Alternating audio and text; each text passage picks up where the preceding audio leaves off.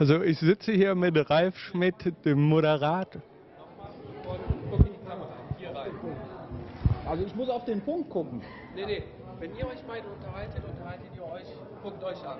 Wenn er anmoderiert, halt immer hier reingucken, weil dann redet er ja mit der dritten Person. Ja, wir können doch so immer mal wieder, weil das ist ja der Zuhörer, ne? Immer mal wieder ganz kurz reingucken. Ja, Ich sitze hier mit Ralf Schmidt, dem Moderator vom Hollywood-Event und vom Weekend of Horror. Guten Tag, Ralf. Hallo Thomas, hallo äh, Leinwandreporter.com.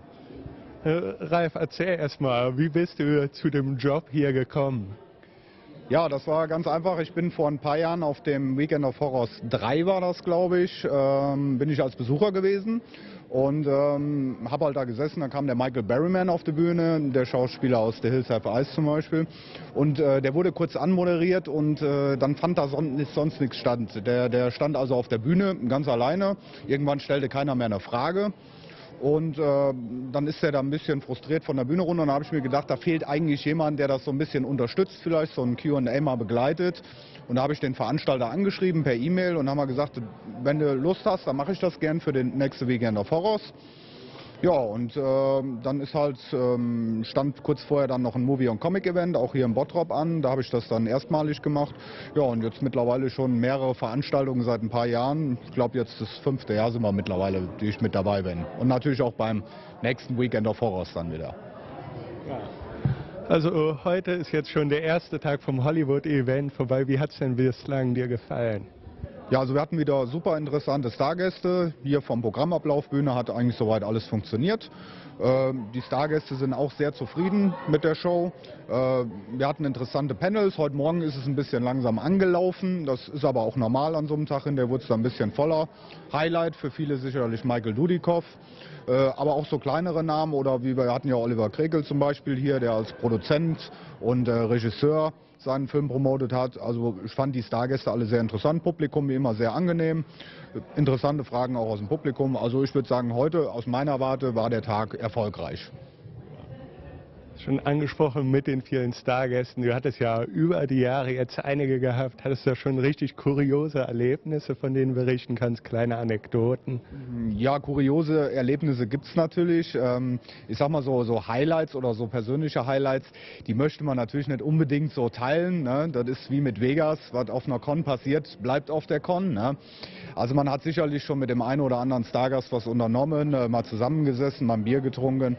Also ich denke jetzt mal ans Weekend of Horrors zuletzt in Wien, wo wir mit ein paar Leuten von der Crew und Schauspielern auch noch abends unterwegs waren, super gegessen haben, einen super tollen Abend gehabt haben. Ähm, klar gibt's da Anekdoten, Geschichten, aber ich denke mal, die sollten dann wirklich auch auf der Con bleiben, ne? weil also ein bisschen Privatsphäre muss man den Schauspielern gönnen. Und es ist halt so, wenn man privat mit den Leuten zusammen ist, das sind Menschen wie du und ich, und äh, das sollte man dann auch respektieren. Ne? Und äh, sag mal einfach gewisse Dinge, die brauchen nicht erzählt werden. Ne? Okay, was tust du denn noch privat so für Filme? Bist du selber ein großer Filmfan, Sammler, Cineast? Ja, als Sammler sehe ich mich jetzt nicht unbedingt. Ich habe natürlich eine große Filmkollektion, DVDs und Blu-rays zu Hause. Selber bin ich schon seit Kindheit an Filmfan. Äh, habe also relativ früh äh, angefangen. Ich bin geboren in den 70ern, in den 80ern damals noch VHS, Ende der 90er dann DVD, Kino natürlich immer wieder, früher noch einmal in der Woche. Äh, da ist über die Jahre natürlich einiges zusammengekommen mehrere tausend Filme und Dutzende Fernsehserien, die ich gesehen habe, äh, wo natürlich, was auch gut ist für so ein Event hier, dass man mit so einem Fachwissen da reingeht, wo man dann einfach für Fragen aus dem eigenen Fundus schöpfen kann. Ich persönlich habe so meine Favoriten liegen im, im Bereich Science Fiction, Horror. Das, das hat mich schon immer am meisten fasziniert. Da habe ich natürlich auch äh, äh, Fernsehserien, die mich da begeistern. Das ist dann so, so mein Ding. Also die alten Hammer-Horrorfilme, die Bond-Filme, da bin ich großer Fan von. Also Hammer habe ich sehr, sehr viele DVDs äh, zu Hause. Also ich würde mich schon als Filmfan bezeichnen. Sammler, ja okay, wie gesagt, da hat sich einiges angestaut zu Hause. Ähm, aber das Sammeln überlasse ich dann anderen. Äh, So, du hast schon angesprochen, in fünf Wochen haben wir hier das Weekend of Horrors. Das zehnte ist es ja dann, das Jubiläums-Weekend of Horrors. Kannst du uns schon mal ein bisschen anteasern, kleine Ausblicke im, worauf freust du dich besonders? Ja, wir haben natürlich für das 10. Weekend of Horrors, ähm, das ist jetzt quasi schon fast ein Mega-Event, was wir da an Stargästen auffahren. Und ähm, für mich persönliche Highlights oder auch generell für die Besucher werden natürlich diese Reunions sein. Wir haben mehrere Schauspieler von Hellraiser, wir haben mehrere Schauspieler von Return of the Living Dead. Wir haben im Prinzip jetzt alle vier äh, äh, Hauptdarsteller aus dem äh, Original, äh, also aus dem Dawn of the Dead von 1978.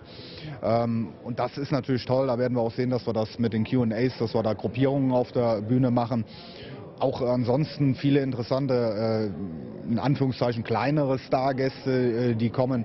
Äh, allein die Masse, was, was geboten wird am Rahmenprogramm an Schauspielern, also das wird alles sprengen, was wir bis jetzt hier in der Halle gemacht haben. Ne? Also generell freue ich mich da auf einen wahnsinnig tollen Event. Wird natürlich auch stressig werden. Ne? Ich freue mich schon sehr darauf. Äh, wir werden natürlich auch wieder dabei sein. Dann, Ralf, bedanke ich mich für deine Zeit und wünsche morgen noch viel Spaß auf dem Event. Ich sage auch Danke. Tschüss.